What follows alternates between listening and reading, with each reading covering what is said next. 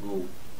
Hey guys welcome back to techogram. Today i'm gonna teach you what is array of object how to use it.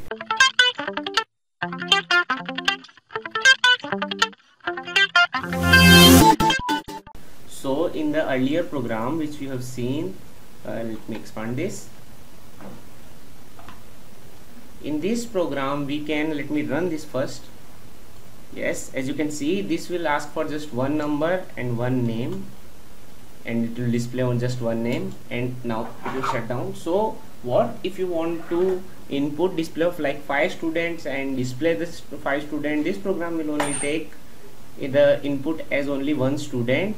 So for this we will use the array of object. So when first step is when you define the object you have to first mention the size. We will use like 100 you can whatever then we need two more variables. We will take i and uh, n.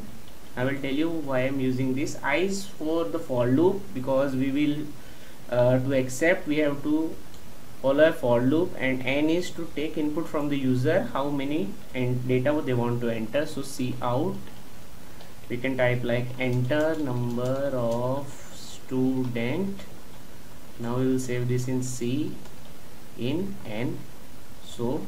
Now if user will insert like 5 then for loop will occur for 5 times. So we will start for loop. We will start it with 0 you can also start it with 1 i is equal to 0 then i less than n because we have saved our data in n and i plus plus. For loop we need the increment. As there is only one statement there is no need of bracket. And same we have to do this for displaying because if we take input of 5 students we have to display 5 student 2 that's why i less than n and same i plus plus. Because there is one student uh, statement we will not uh, use any bracket. Now what changes we made here? We will put an i here. So when this i is equal to 0 this record will be stored in s of 0 then the for loop will execute one time. A 0 will become 1 because there is i plus plus then the next record will be stored in s of 1 you have to do the same thing here.